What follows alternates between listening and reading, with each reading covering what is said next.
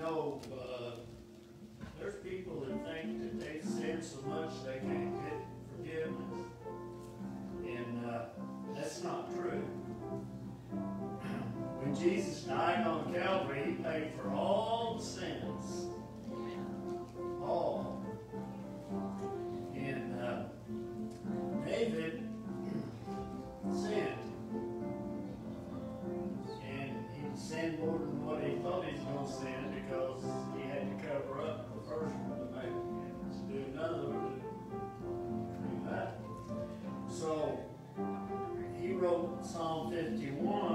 51, which was his confession and how bad he felt about it. And then he wrote Psalm 32 to tell how great he felt because God forgave all his sins. So he, adultery and murder. I don't know what else he did, but hello. I'm going to read Psalm 32. He says, Oh, what joy for those whose disobedience is forgiven. And they me, whose sin is put out of sight. Yes, what joy for those who record the Lord has cleared of guilt, whose lives are lived in complete honesty.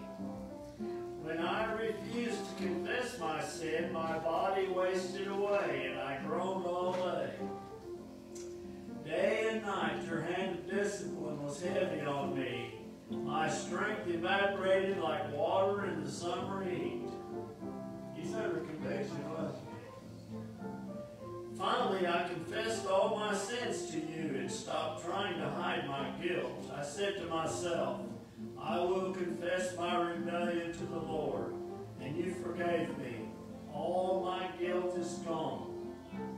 Therefore, let all the godly pray to you while there is still time, that they may be may not drown in the floodwaters of judgment. For you are my hiding place. You protect me from trouble. You surround me with songs of victory. The Lord says, I will guide you along the best pathway for your life. I will advise you and watch over you. Do not be like a senseless horse or mule that needs a bit and a bridle to keep it under control. Many sorrows come to the wicked, but unfailing love surrounds those who trust the Lord. So rejoice in the Lord and be glad, all you who obey him. Shout for joy, all you whose hearts are pure. Thank the Lord that we because of what Jesus did on Calvary, we are free from all our sin and guilt. Thank the Lord. Let's remember.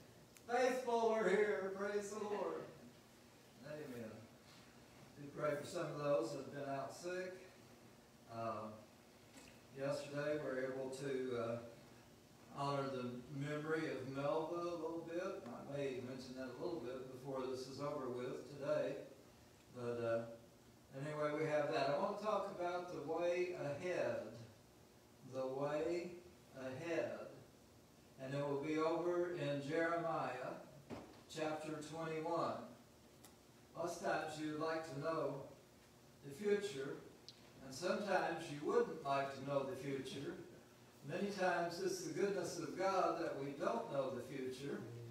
Uh, if we had known what all we were getting into in certain cases, we probably would never have started. And yet, in many times in those cases, as we look back on it, even through what we go through, to get to the place where we would say, if I'd known this was going to happen before I started, I would never have started here. But if you persevere long enough, then later on you say, well, I'm glad it happened. I'm glad I got put into that place. I got, I'm glad I got moved out of my comfort zone and moved into a greater area of ministry where God has taken me. I want to look at this verse uh, here in John, uh, Jeremiah chapter 21. And it's verse 8. And it says, See, I set before you the way of life and the way of death.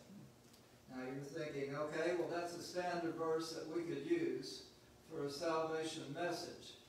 But actually, as you look at the context of this in this chapter, you'll see, we'll look at it historically, how it fit here in the history at the time of Jeremiah.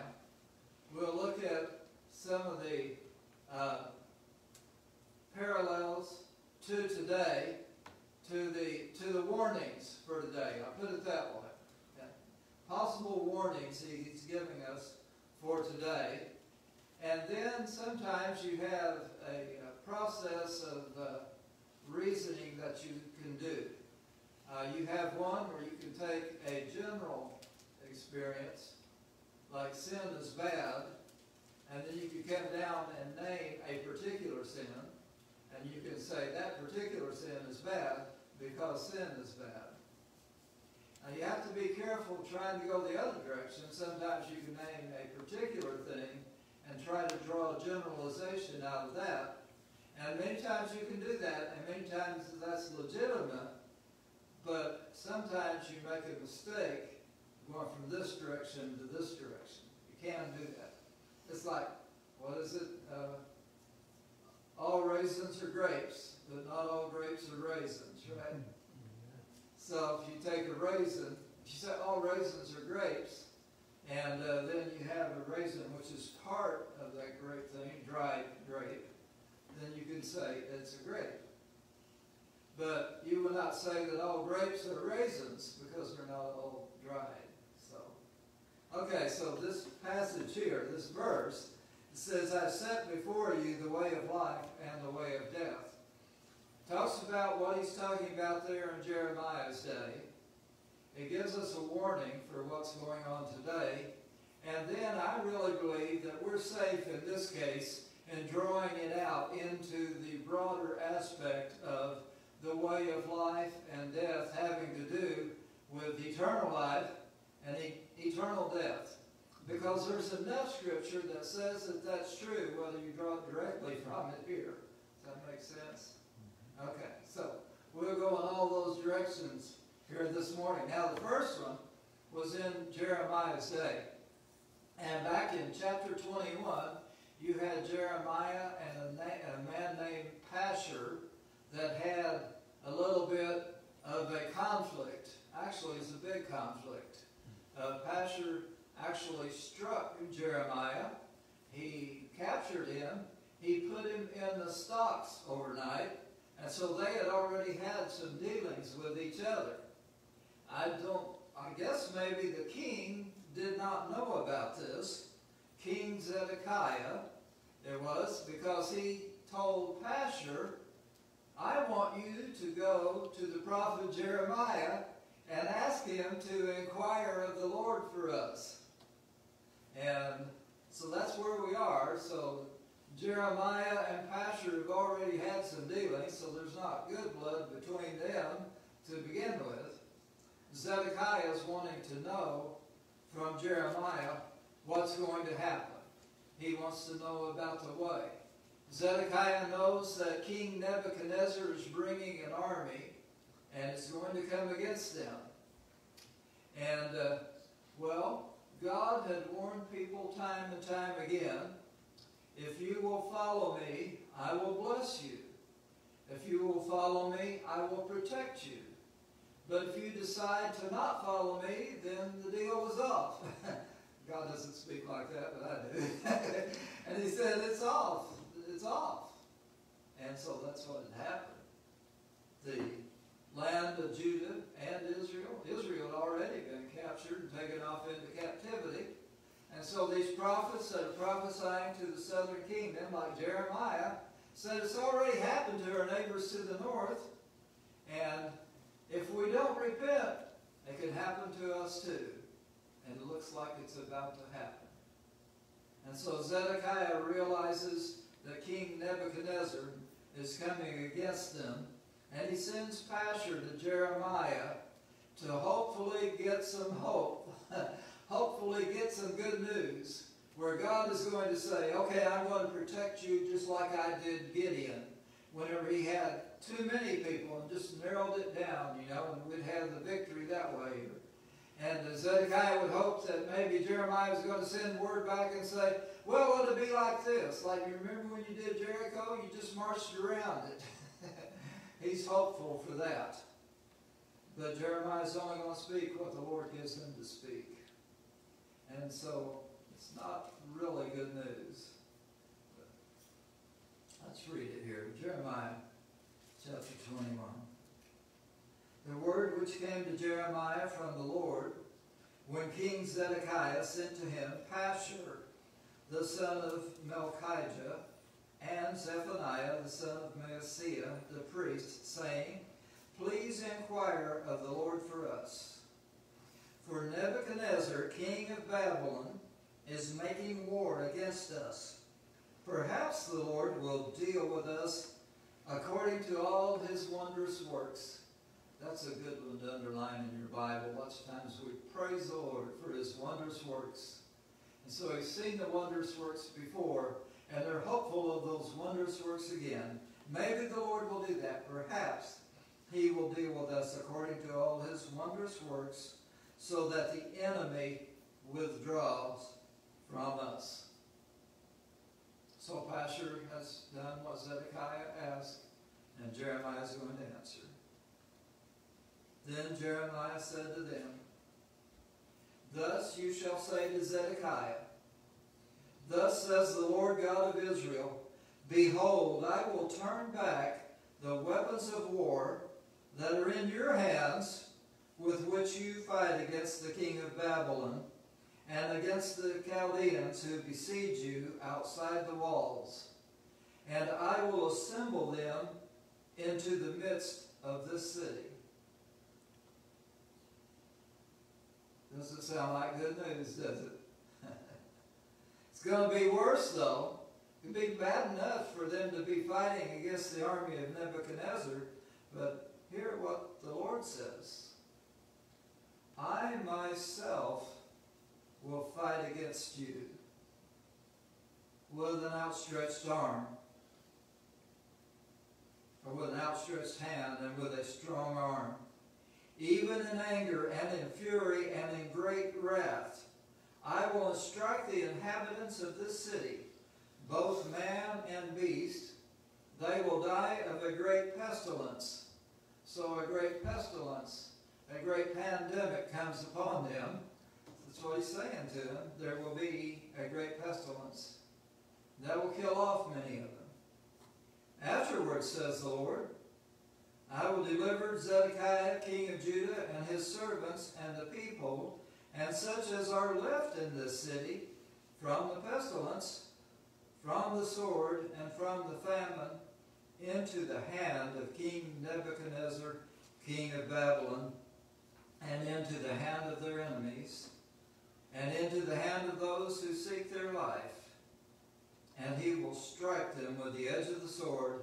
He will not spare them, or have pity or mercy. So the king has the hopes that God is going to display his wondrous works against his enemies. But God says, no, it's going to be worse. In fact, I will fight against you myself, I'm going to strike the people with pestilence, and those that die from pestilence, don't die from pestilence, are going to be killed by the sword. Well, that's the context of uh, what we're dealing with here. He will, and I'm down at verse 7, and he will strike them with the edge of the sword. He will not spare them or have pity or mercy. To this people you shall say, Thus says the Lord. See, I set before you the way of life and the way of death.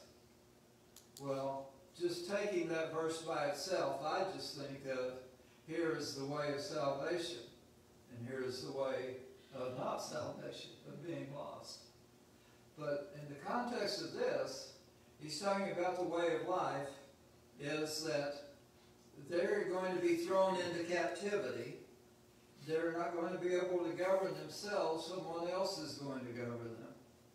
And if they want to live, they're going to have to accept that that's going to come. And the only way that they're going to live is to go outside of the city and surrender to King Nebuchadnezzar and his army. Otherwise, they will have the pestilence and they will be struck by the sword. Verse 9, who abide, He who abides in the city will die by the sword, and by the famine, and by the pestilence. But he who goes out and falls away to the Chaldeans who besiege you, he will live, and he will have his own life as booty. For I have set my face against this city for disaster, and not for good, says the Lord. It will be given into the hand of the king of Babylon, and he will burn it with fire. And then he comes in giving a message to the house of David. Concerning the house of the king of Judah, which again is Zedekiah, hear the word of the Lord, O house of David, thus says the Lord. Now here's where they could have turned things around. Here's where they could have escaped uh, this judgment from God coming upon them. So he says this, execute justice each morning and deliver him who has been robbed from the hand of the oppressor. Let my fury go out like fire and burn so that no one can quench it because of the evil of your deeds. See, I am against you, O inhabitant of the valley, O rocky plain, says the Lord. You men who say, Who shall come down against us? Or who shall enter our dwellings? But I will punish you according to the fruit of your deeds, says the Lord. And I will kindle a fire in the forest, and it will devour all things around it. Well, there's the message for Judah. It is that uh, God has told them, I've told you time and time again you need to repent, and you haven't done it. And I've told you to execute justice, and you haven't done that. And he's telling us, get a little glimmer here, and he's telling them execute justice every morning, that if you do that, then there might be hope. It might come back around. Now walk down here, can you hear me? No. Okay. Charlie, you want to try going up a little bit or not? Are you turned on? It's, it's on.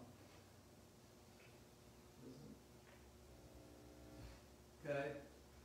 Well, anyway, so he comes down there and he says, uh, I told you, and I want you to repent, and all of that. Okay, I'm going to use the other mic, Charlie.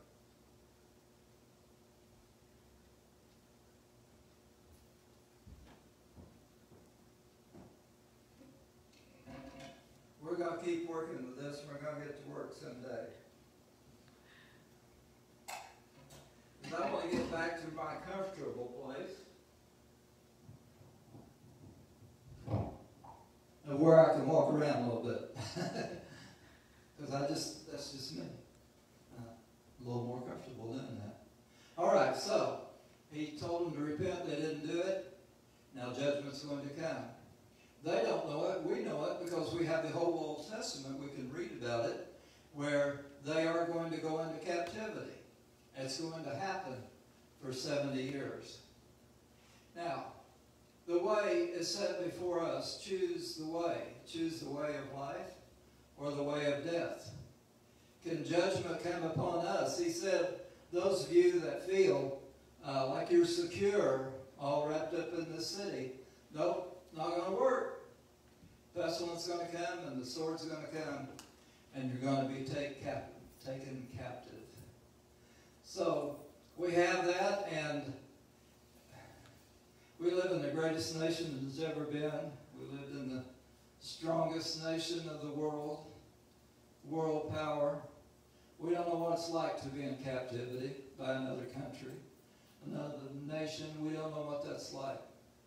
And we might feel just like these people that uh, nothing can come against us.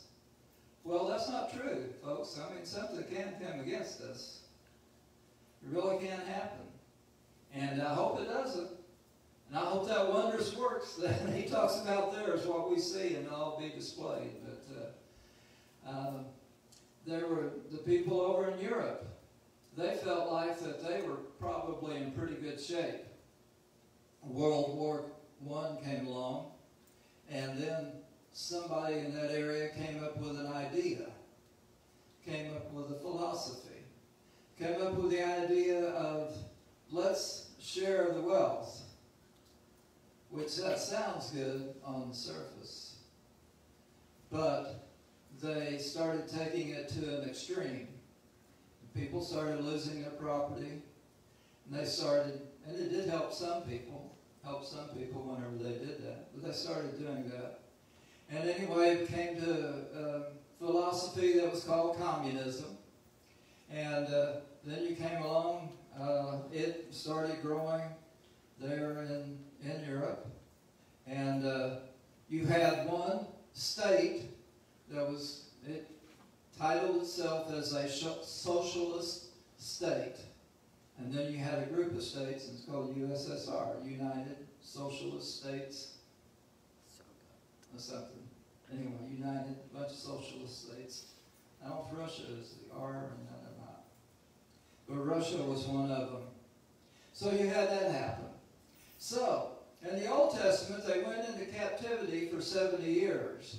Over in Europe, they tried this great experiment because there's a way that seems right unto the man, and it was called communism. And it lasted for 70 years after World War I, around 1919, 1920 or so. And then in 1991, I think it was, the communist flag over Russia came down and they put up the one they have now. What happened was it collapsed. It came down. It was an experiment. It didn't work. And it hurt a lot of people. And uh, we need to be careful that we don't go the same direction. And so I just, I just warn us about that as Americans. That's coming along. And it can happen.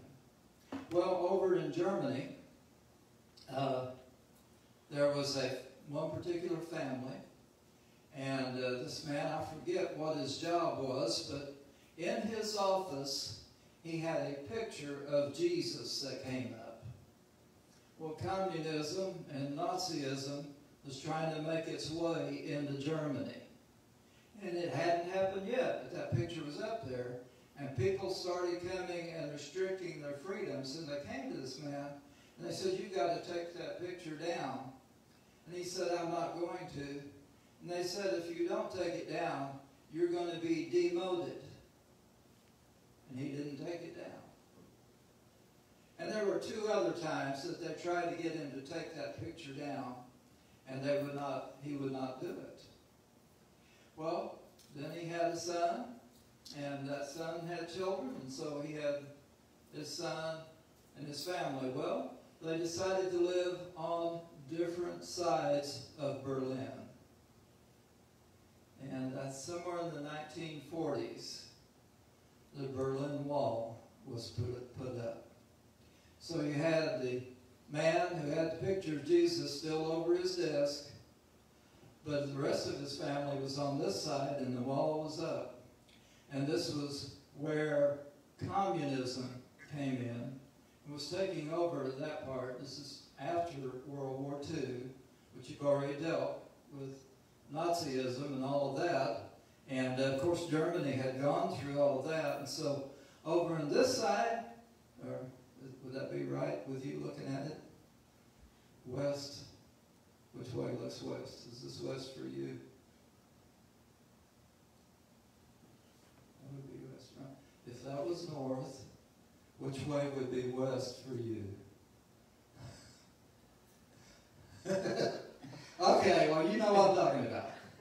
So anyway, over in East Germany, you had communism that was coming in. Nazism had already happened.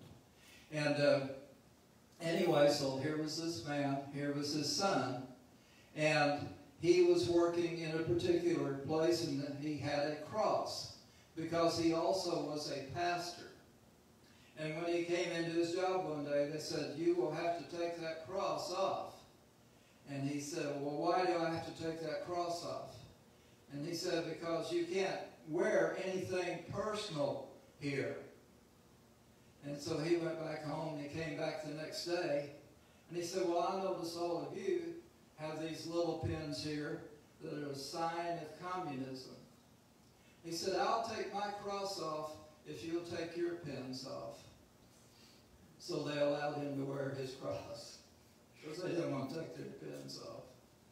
Well, then you had the son and uh, children, but the one son's the one that was telling the story. And so whenever he got in school, everybody had the chance to become a part of the communist youth, but he would not do it. So whenever they had school get-togethers and things like this, the communist youth would get up and they would do the program, and there would be these few that were not part of the club that would still have to be up front because they're part of the school, but they're off to the side, they're excluded. Well, that happened in grade school. And then he got up in high school. They had another program, another honor society, and uh, he was excluded. He was off to the side because he would not join.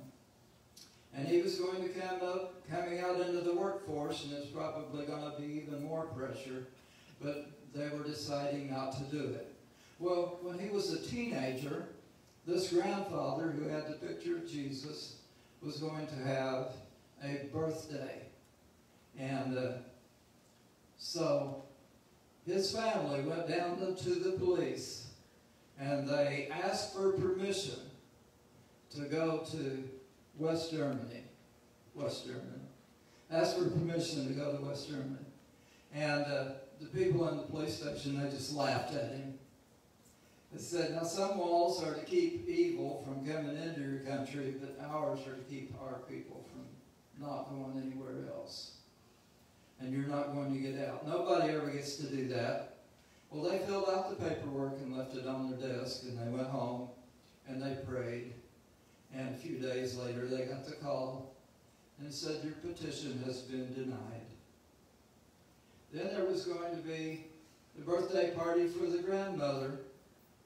A year or two later, they went down to the police station. They petitioned again. The police just laughed at them. They went home.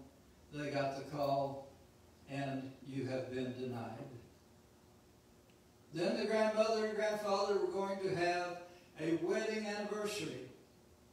And uh, they all went down to the police station again and they filled out the paperwork and they just laughed at him and they left it laying on the desk there.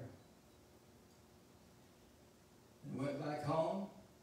The children are saying, well, why don't, why do we allow this and what can we do and all this and, and uh, the dad said, well, we just pray. And they prayed.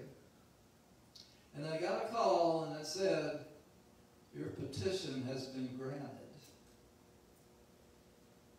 And so they went down to the police station to pick up the paperwork, and somebody said, I don't know. I don't know who you know in higher places, but for some reason, you have permission to go. And uh, they just couldn't believe it. And so they gave them the papers. And so they went over to the border And the border guards couldn't believe it, said nobody ever gets to do this, especially family. And the family had said, if you let us go, we'll be over there for a week and then we'll turn around and we will come back. We promise that we will do that. Well, they didn't believe him, but they gave him the papers. And so they went out and went to the wedding anniversary. They had a great time.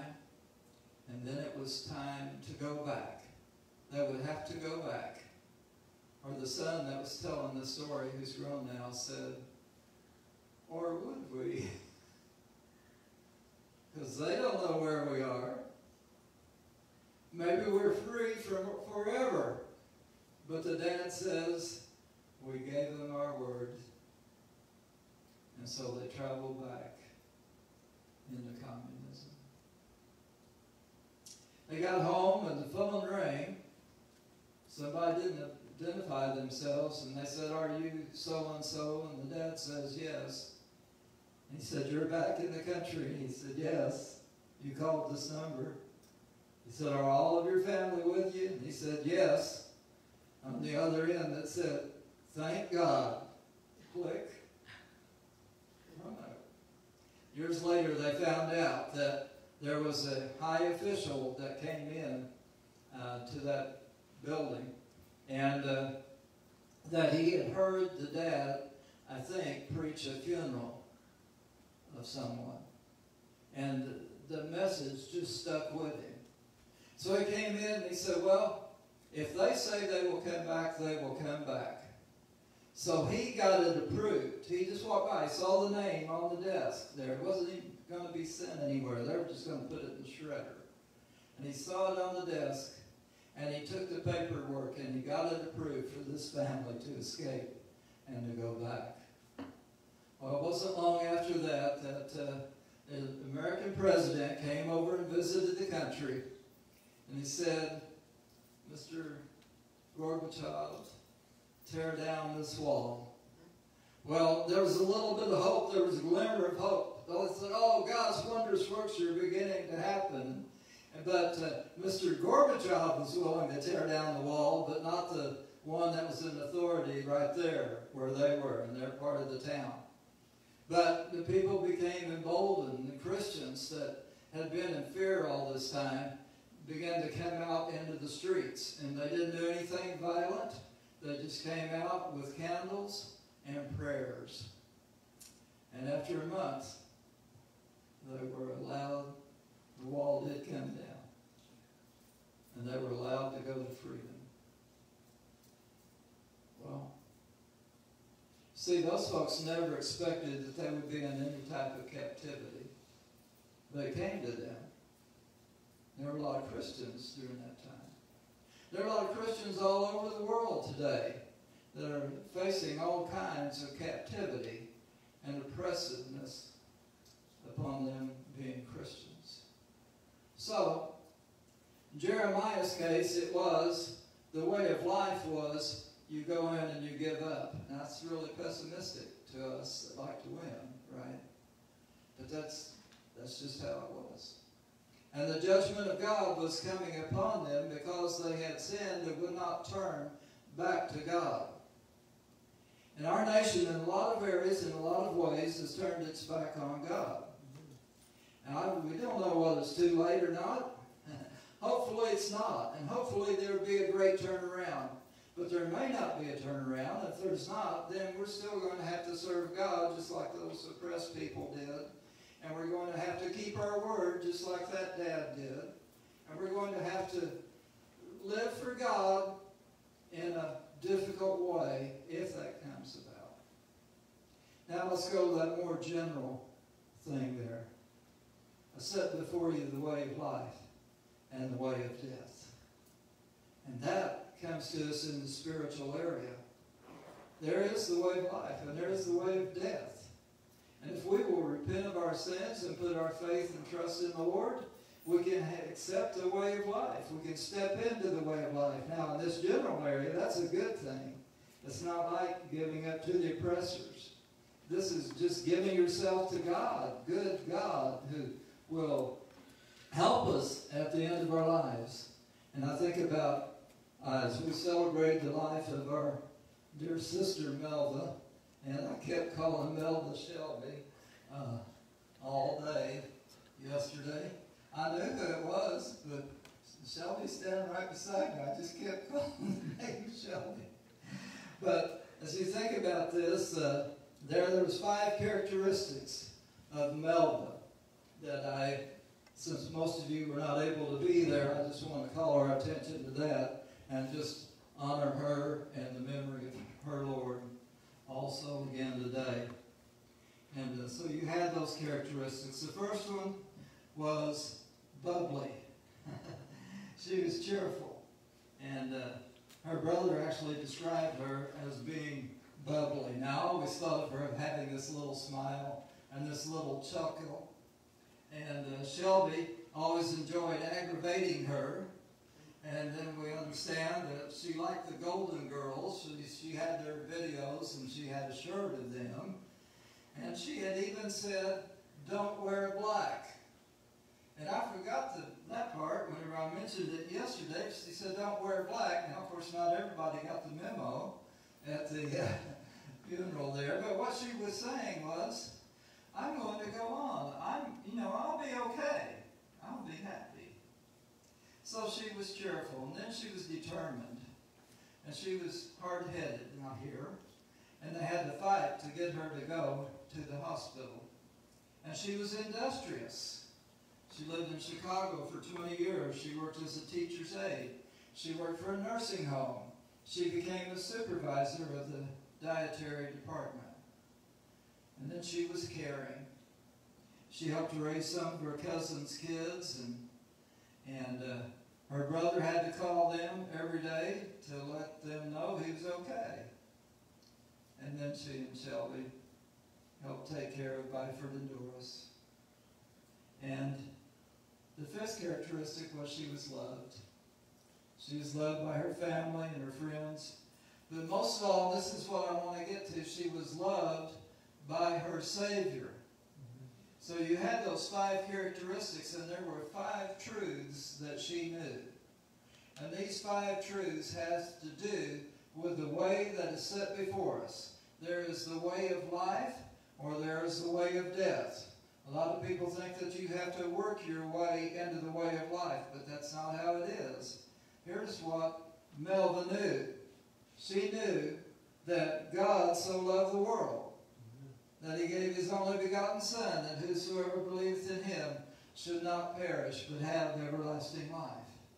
She also knew some of the bad news. Bad news is that we've all sinned and have come short of the glory of God. And the wages of sin is death. Two aspects of the bad news. The good news, God loves us. We've all sinned. The bad news is the wages of sin is death. spiritual life, spiritual death. Spiritual death is also known as hell. Two other truths. The gift of God is eternal life through Jesus Christ our Lord.